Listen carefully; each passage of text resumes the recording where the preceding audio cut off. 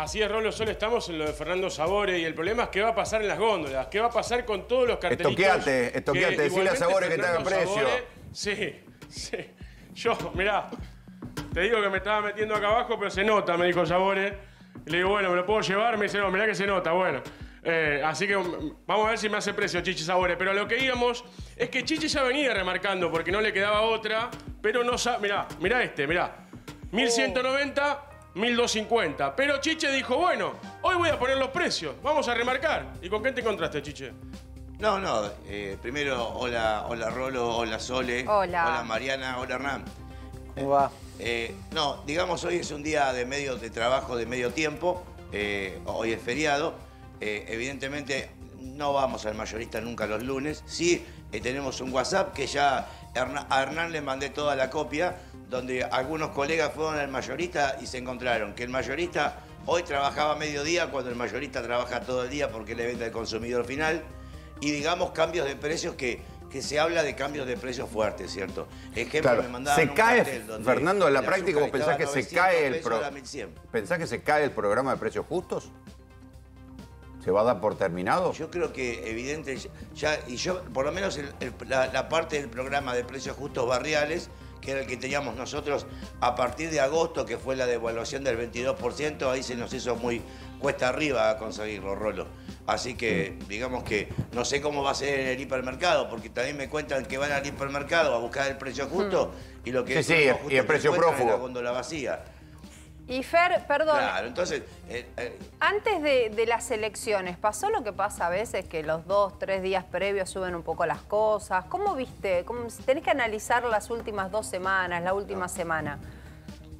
La, la semana previa a la, a- a la votación, digamos que encontramos los mayoristas, los mayoristas, claro, a la última, este, que nos pasó igual que con las primeras, ¿cierto? Eh, los mayoristas estaban demasiado vacíos.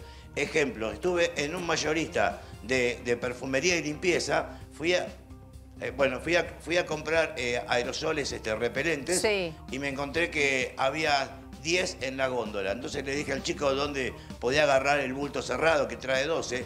Me dijo que no, era que lo único que tenía era eso. No. Evidentemente, Yo no- eso no lo creo. No, no lo creo porque el mayorista eso lo compra dos o tres meses antes, ¿cierto? O sea, no puede ser. O sea que la lo mercadería que- está guardada, ¿cierto? vos decís que Hoy me dijeron que habían guardado el arroz, que no había Claro. harina. Entonces sabemos que mañana nos vamos a encontrar con un escenario bastante agresivo en precios. Claro.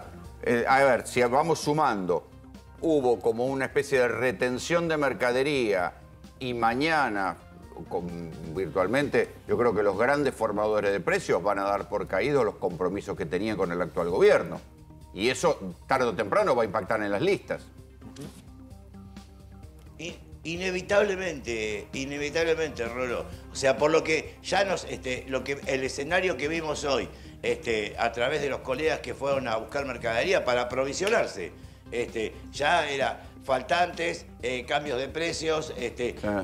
mayoristas A ver, que espera no que- trabajaban a la tarde. o Me sea, intrigaste, me no intrigaste un para poquito. vender, pero sí adentro para remarcar. Me intrigaste un poquito con lo que le pasaste a Lester del chat de los almaceneros. ¿Qué, qué es ese chat? A ver.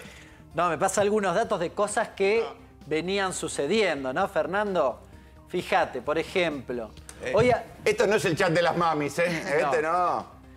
Un dato, hoy abrimos solo hasta las 13. Bueno, recorte de horario, ¿por qué? Y porque están esperando a ver qué pasa con... Vos corregime, Fernando, pero ¿qué? están esperando a ver qué pasa con los precios. Y con una cosa que él me mencionaba en el WhatsApp, que es, están esperando a ver qué hace el proveedor. ¿A cuánto me vende? ¿Cuál es el precio que fija? Si yo me doy vuelta, digo, bueno, lo vendo a un determinado precio. Si el proveedor no sabe qué precio, Claro. básicamente bien, cierra porque no sabe a qué, a qué Fernando, precio vos ya, vender. ya de estas viste muchas Está y a lo largo de este año pasó no varias veces. ¿Cuándo se resuelve? ¿Cuándo vuelven los artículos? ¿Cuándo vuelve? ¿Cuándo se normaliza est- esta retención de productos? Claro. Ustedes pueden entender que ya llevamos casi dos meses sin conseguir arroz. Un arroz que pagábamos 400 pesos el kilo, el arroz más económico de grano largo, a- hasta la semana pasada nos costaba 950, Sí, duplicó sí. el valor. Te lo creo, azúcar- fui al supermercado. el azúcar, Mira, fui a buscar ese arroz que es el más conocido que usás para todo. y no había ni uno en la góndola y había dos góndolas llenas de un No. risotto que se ve que lo tenían eh, eh, en el, no sé, lo tenían ahí guardado en el depósito y Claro, pusieron todo risotto. claro, o sea, pero- arroz. Pero eh, el risotto es el más caro de todo y trae 300 gramos. Entonces ese lo ponen a la venta y te frentean toda una góndola.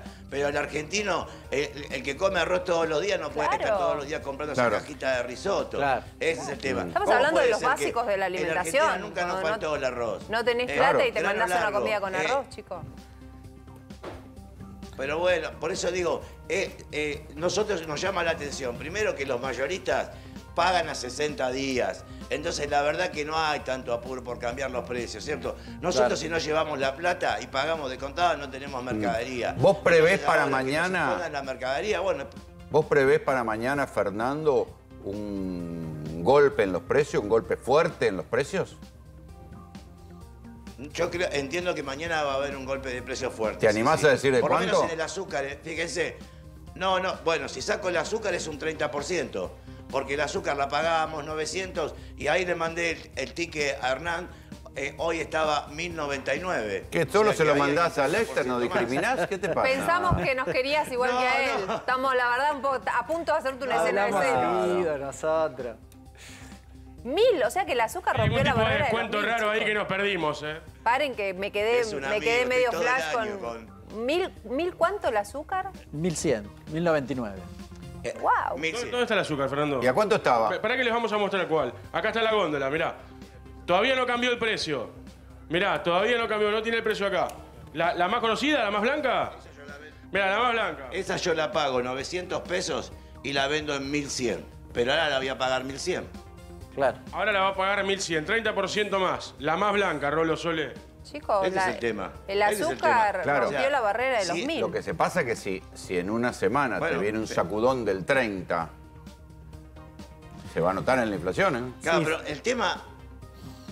El tema, Rolo, es que estamos agotados, ya estamos cansados de cambiar precios. Obvio, nosotros y los comercios nuestros, entiendan ustedes que son a veces comercios muy pequeños, que todo el depósito que tienen es la góndola. Entonces, si no están al cambio de precio al momento, no pueden reponer mercadería con estos Claro. saltos. I- Inevitablemente, eso por el lado nuestro, pero fundamentalmente el lado del consumidor, siento el lado del laburante, que mañana va a venir y va a tener que pagarme el azúcar 1.300 pesos. ¿Qué otra cosa?